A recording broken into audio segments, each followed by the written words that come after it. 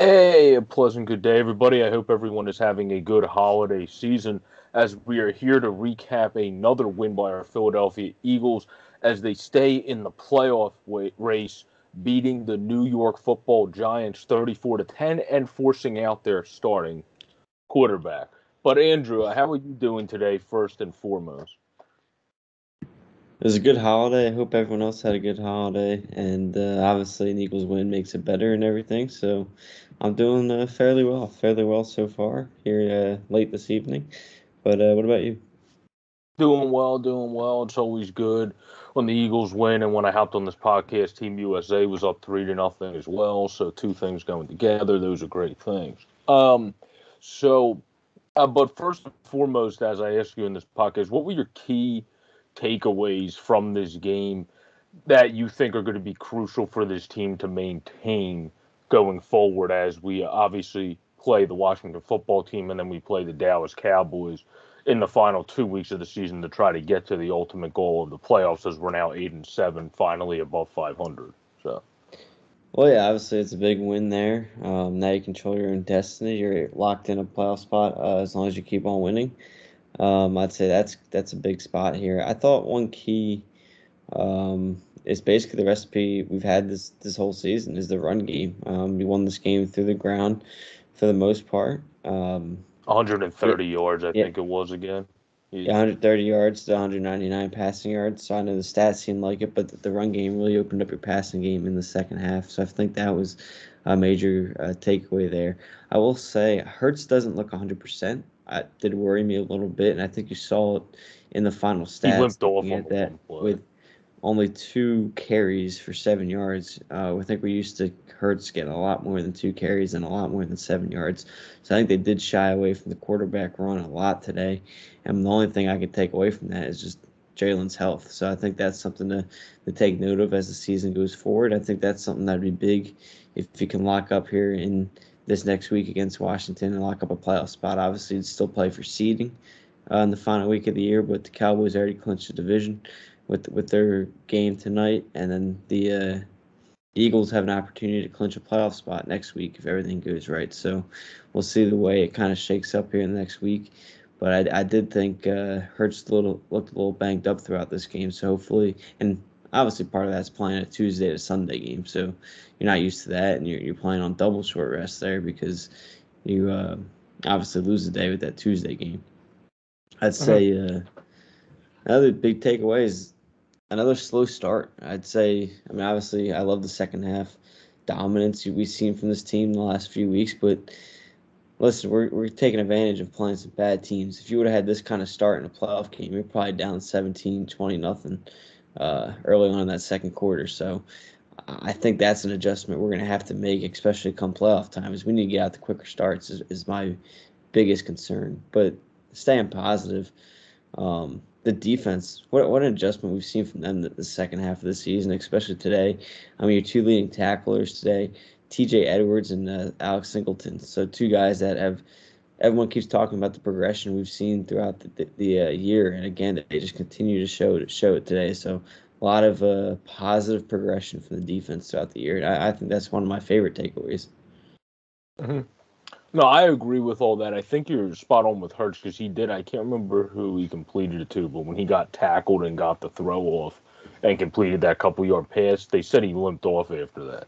So you could tell it seemed like he was battling um through his lower body, uh, his ankle and everything. Still, um, hopefully he didn't do anything else but um, he still played a solid um game overall. So I mean, I think uh, what I would take from Jalen Hurts was he had a very good second half, just like the rest of the team, where the whole team, it's not like anybody did the greatest thing in the first half because, like you said, uh, we have to get better starts against the Jets. We got outscored 14 to seven, but took advantage of playing a bad team and made it up in the next three quarters against Washington, we got shut out 10 nothing and took advantage of a bad team, like you said, made it up in the next three. And then in this game, nobody could score, and it was just 3 3 after half, and then ended up 34 10. So, uh, like, you took advantage of a team that just couldn't get it going, forced out Jake Fromm, um, who isn't really a starting quarterback, but in his first NFL start, you were able to force him out.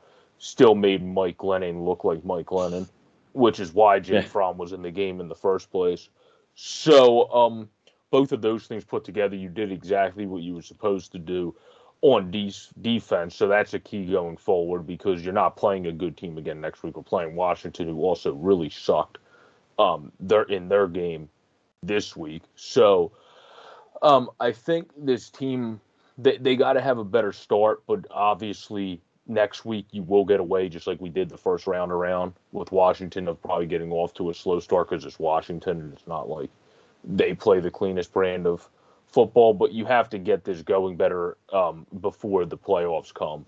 Uh, hopefully, obviously, also Jalen Hurts is able to get healthy and kind of have now with a regular week a little bit longer to recover here. So he's not kind of playing through where it looked like he was limping a bit. And that probably, like you said, the key factor was we had a Tuesday to Sunday. So that plays in big when you're playing through a being banged up. But I still think he played a good game. I think the key to this game was the running game, but also the key to this game was also two big plays that I took away from our wide receivers. One being the big guy you drafted to be a big play guy, and DeVonta Smith coming back on the one ball, and the other being Quez Watkins making the uh, great catch down the field as well. So I Yeah. think those are two things you love to see to be able to see your receivers because Hurts, those weren't the best throws. You could definitely make better deeper passes, but he at least put it where the receiver could catch it. Watkins adjusted, caught it.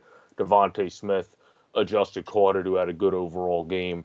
And then, of course, I have to point out as a key takeaway, on top of his great blocking, Lane Johnson, who I believe is a former tight end, uh, was able to catch a touchdown pass of his own. So uh, good for Lane Johnson to be able to get on the scoreboard himself and um, catch a touchdown pass. But let's go back uh, first and foremost to what I was saying about uh, the Eagles having a sloppy start. Of course, we had a fumble on a return. We had a play that ended up not being an interception, uh, fortunately for the Eagles early in that game. Um, and then another fumble that Dallas Goedert, of course, ended up recovering.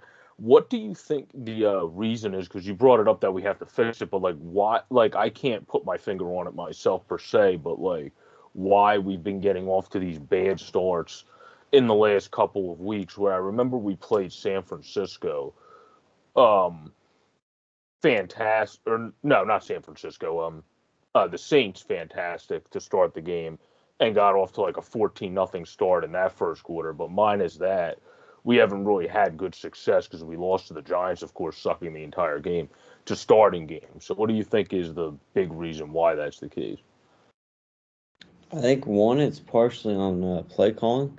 I think something I've noticed is our passing game relies on the run game, meaning once the run game opens up a little bit, it develops the passing game. And Sirianni likes to, what it seems like, is start the game passing. I mean, I think today we started six of our first eight play calls, I think, were passing. Um, and listen, I don't disagree with some of the play calls. I mean, we had, what, four or five drop passes to start the game today. So Yeah, we had a turn some- couple. Yeah, you could turn some of them Sanders in the had first. two, Reagor had Yeah. one, and then Goedert, Goedert, had yeah. one too. Yeah. So you, you could have turned some of those into first down, and then your offense is moving anyway. Um, you could have against Washington. You obviously had Goedert drop that first down ball, it turns into an interception. So I think that's partially is you rely on the run game to kind of develop things where we like to start with passing, and until we get the run game going, we see the passing game open up. I think two, our coaches are that good at adjusting at halftime. I, I honestly believe that is. It seems like every halftime we're we're winning that second half, and that, that's partially coach adjustments. So I think we're, we're just having a phenomenal job adjusting to the game. Um, but this is something. I mean, the Eagles have always been a slow team. This is one, one of the biggest knocks when Wentz was here was how slow of a start this team would get out to, and, and not being able to start fast. And it kind of just continues. I know something today was you kept losing field position. Um, you had the fumble to start on the kickoff, put you, put you back a few yards, and then the punt. Washington started with good field position. You had the defense hold, but then the Washington punt pinned you within the 15, 10 yard line. Same, and then you went three and out, lost field position again. So until you won that field position, you also started to struggle. So it kind of just seems like a week to week thing, and different things are factoring in. Um, Tuesday, obviously, had what almost two weeks with no football, so you obviously started a little rusty. So it's kind of all just a lot of different things piling up, and it's fixable. And, and I, I think they'll be fine and get the hang of it. Come a, a very big game. I also wonder if Sirianni, just because he wants to get Hurts into the game, like if he would not do this in a playoff structure, like if he wouldn't start exactly. six of eight passing, where like it's just, just we're playing not the best teams, where he figures you can make it up in the end. Now, granted, we also could have been up six three at the end of the first half if we didn't have a bad snap and hold. That is the main reason why I think Jake Elliott won the goal because you saw when he got the snap um, and the whole it bobbled, had to get there, and it looked like the snap just got held correctly right as he was kicking it. Yeah. Uh, which is not what you want to have happen. So that's why I think he missed that. But for me, um, I'll shoot it over to you after this for our key contributor on the defensive side of the ball. But for me, I think it had to be Rodney McLeod because he had an interception himself, and then he also forced that interception that Alex Singleton had for the pick six. So um, I have to give it to, even though the tackles leader comes in a close second, I have to give it to Rodney McLeod, who just had a very good overall defensive game, doing what you want McLeod to do um, really covering well out there, forcing turnovers and getting a turnover of his own due to great pressure. Um, which this was probably the best game I've seen Jonathan Gannon usual, utilize the blitz. Um, due to great pressure by the team. Absolutely, and I agree 100 percent with you. Uh, McLeod was huge.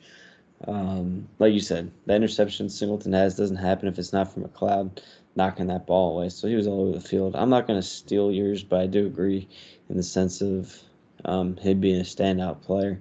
I'm going to go to someone who we've been waiting to have a, a, a big game, and because uh, he's on the defensive line, he doesn't get the tackles like Singleton and Edwards do as linebackers. I thought um, Josh Sweat uh, stepped up big time today. Had a big time sack. Felt like he was rushing the quarterback all day.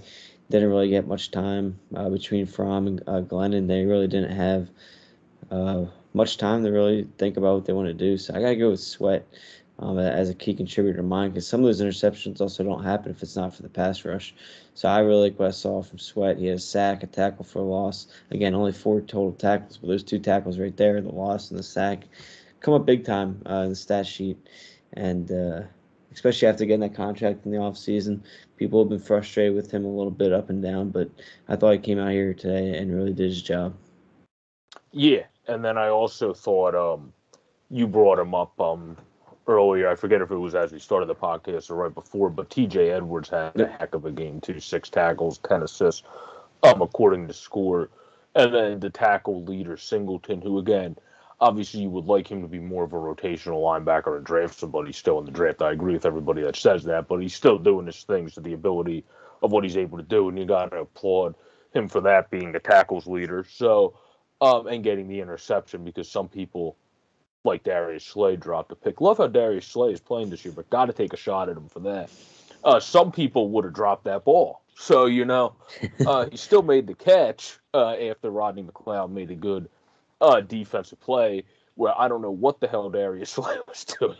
Uh, where John, I think I think it was Jonathan Jonathan Vilma was the color commentator, right?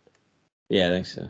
Yeah, where Jonathan Vilma was beside himself, even though I don't think Jonathan Vilma is the best color commentator, to be honest. Uh, but, it was it was rough. I don't know. It was I don't know what was worse, the broadcast or that first half. huh? So I don't know what was worse, the broadcast or the first half of football.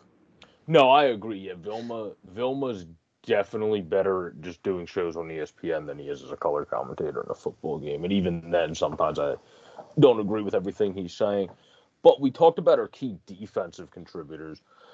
Uh, so let's flip it over to the opposite end of the ball. I'll shoot it over since I started with the defense. I'll let you start with the offense. And uh, who is your key contributor that led to this win on offense? As we gave our keys on defense, yours being Josh Sweat, and uh, excuse me, Jesus, mine of course being Rodney McLeod, as I had a frog in my throat.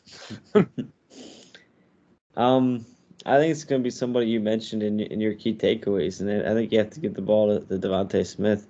Um, like you said, he had the toe touched uh, touchdown in the end zone. Forget how long uh, a touchdown pass that was, but that was a huge spot in the game. Uh, I think it was kind of close at that point, so a huge touchdown there for Smith.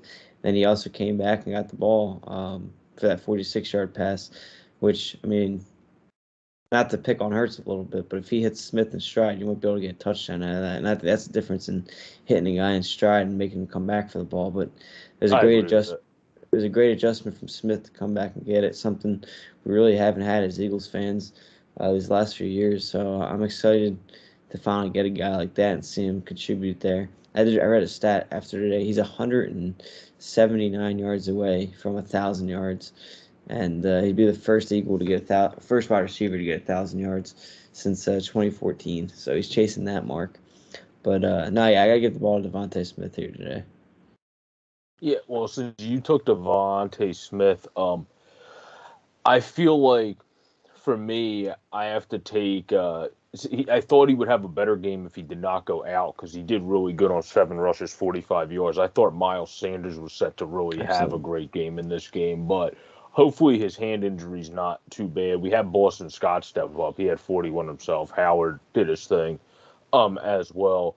But um, I think he's a guy you have to point out in this game because even in the limited carries he had, he still was able to get 45 yards. Unfortunately, he had to come out, so he still was not able to get his first touchdown when Boston Scott uh, ran in for that touchdown. But um, uh, he played a hell of a game before he had to come out. And then my secondary guy would be Boston Scott just because of how well he continues to play. Uh, that was a heck of a pickup. Um, obviously, to be able to get him off of the scrap heap that Howie was able when Howie was able to pick him up, where like we always say, Howie tends to be better at picking people up from, from nowhere land sometimes than he tends to be at drafting. But, but uh, even that's a different story for a different time. Sorry to cut you off. Um, even Jordan Howard, just throwing games as a whole. I mean, nine carries for 37 yards, so over four yards a carry. Even that's a phenomenal day. So, I mean, the whole game. But no, I agree. Sanders was there for going over 100 yards again, easy. Uh, if he's able to stay healthy, it's a shame to see him get banged up. He's been dealing with injuries all year, um, from his ankle to his, uh, I think it was his quadricep coming into the game. Then he leaves with his hand wrapped. So, it's uh, it's unfortunate to see because he's starting to play his best football, and it's crazy to hear he doesn't have a touchdown when they said that at the beginning of the broadcast, that was just unbelievable to me. But I mean, even with Sanders missing some time this year, I mean, he's still still 19th in the league in rushing, uh, over 700 yards. So he, he would have broke a thousand this year if he was able to stay healthy. So he's averaging over five. He's averaging five and a half yards a carry. It's just unbelievable, and that's credit to the offensive line as well. But no, phenomenal day for the run game once again. Mm-hmm and that's also the credit to the depth you have um, bringing in a guy. You got Howard mm-hmm. off of, um, also kind of just off of the scrap heap this year, where people weren't believing in him anymore. The Eagles, who obviously had him in their system, bring him back in, and then he starts doing well here again. Uh, you brought in Boston Scott, obviously, like I said in the past, he's one of your best contributing backs now. And then you drafted Gainwell in the late rounds. So you having that depth really helps you because we already saw it step up when Sanders was out but hopefully he's not out as he was before. But as we uh, head into our ending sector of our Eagles recap podcast here, I'm going to turn it over to you to say what do you think of the overall performance, though, since you did talk about him gutting it out a little bit. It seemed like he was playing through injury. Of having the, I guess, perseverance would be the right adjective to use. The perseverance factor that Jalen Hurts seems to show to his game each week, where when he doesn't have a good start, the good quality of him that I've seen this far is he's one of those quarterbacks that doesn't let that affect him at all. Where some young guys, when they don't have a good start, like Baker, for example, it kind of goes all the way down at times, and it's not a good thing you want to see. Where he has it, he fights and he kind of fights back. this guy is resilient. It's unbelievable. I mean, you look at Tuesday's game, since we didn't get a chance to recap that, he has that fumble and he bounces back after the coach yells at him and he comes out and just balls. Um, today, I mean, yeah, he like we said, he only threw a couple guys, but they were still caught. I thought he played phenomenal football, honestly. Um, people are going to nitpick him here and there, but we talked about the Goedert drop, the Reagor drop, the Sanders drop, a couple, and we talked about five drops in the first five minutes of the game. He only had 12 incompletions. So you add those five right there, not even counting the rest of the game. You're looking at 22 for 29. The only bad At- plays you had was at the fumble. 30 yards, probably about 230. So I mean, and maybe even another touchdown because couple of those would have been first downs and you keep driving. So I'm honestly the stats. Sometimes stats are only numbers. Um, 17 to 29. I think that's more of just a number than what we actually saw from Hurts. Because I thought he went out and played pretty well. And again, those drops come back to haunt you. And I mean, even Watkins had had a big one across the middle. Uh, I think in the third, third or fourth, or That's true. early in the third quarter. drop, yeah. So, I mean, again, you're looking at 12 incompletions, but really, I truly believe half of those were drops, and, and you could at least add half of those back. at least five of them were. I would definitely say the only bad plays that I really thought Hurts made today, because later in the game he then threw one out onto the side of the end zone, which he should have done on the play that fortunately ended up not being an interception, mm-hmm. or that play that fortunately ended up not being an interception, and then the fumble. Because the fumble was not a great, but other than that, um, you got the fumble recovered, so you lived to tell about it those were not the best, but that speaks to the resilience and perseverance where that was all in the first half. He was able to battle it back, throw two touchdowns, and have a good overall game without being able to use his other side of the of the token, which is being able to run with the best of them in the league back there, running the run pass option because it looked like he was playing banged up. So he didn't have that side of the token as much. So we did more running and then Hurts actually passing, just missing 100 or 200 yards by one yard, having 199. So he had a solid overall passing game and would have had 200 yards if one of those people, literally one of them that dropped it, caught the ball. So uh, that that was a very solid overall passing game from him in back-to-back weeks. I remember last week after he didn't have the best start. I remember though. Uh, we were all talking about how he did have a good passing week to close out that game and really did have a solid passing week against Washington when I was at uh, my buddy's house watching that game to win 27 to 17. So for back-to-back weeks after not having the squeakiest cleanest start, he closes out great passing and would have even had better passing stats. Which last week he had a couple drops too, so he would have had even better passing stats. But this week there was like five or six that he Yeah. really would have had better passing stats if those drops were not there which for me is a closeout to this podcast is another key thing that we have to fix not just slow starts but key drops. You can't have key drops in the playoffs either because that's going to damn you a lot more in the postseason than it does in the regular season against a team like the washington football team or the new york giants. Even when you're playing depending who they're playing in the final week i don't know who's going to be playing with dallas that's going to hurt you more against them if they still have actual people playing and not their second and third string. So, like, you have to play better in that aspect too. You can't have key drops if you're going to try to succeed, and at least be have a good game, whether you go out in the first round or not, or try to win in the first playoff game. You're going to have to not have key drops as well as starting off slow is a key thing you got to fix. I agree with that 100%. But I think that about wraps us up, or as my good friend from Steel Flyers, Peerless, says, that's our full 42 or 24 um, and about with this one.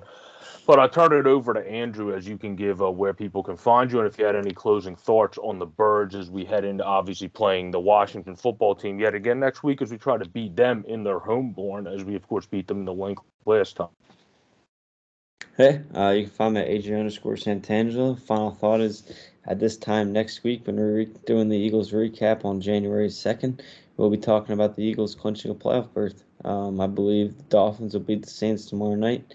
Vikings will lose to the Packers next Sunday, and uh, we will be well. We'll take care of business against Washington. So, I uh, I think it's been a, a crazy year, going from what two and five to eight and seven now. Um, and hopefully it continues to ride. And as long as we continue to win games through the run game and control the clock, I, mean, NFC outside the Packers really looks wide open with now the Buccaneers having all their injuries. So playoffs 0 0, well, anything can happen. That is true. That is true. I like that prediction of uh, everything going right for us coming into next week. Uh, you can find me at JJBoard26 on Twitter as well as writing hockey articles for Flyers Nitty Gritty and doing overall sports stuff uh, for Steel Flyers as well as on this YouTube page. My closing thought will be more let's try to have what we did, like we've been saying in this podcast. Let's try to bring some of that second half into the first half.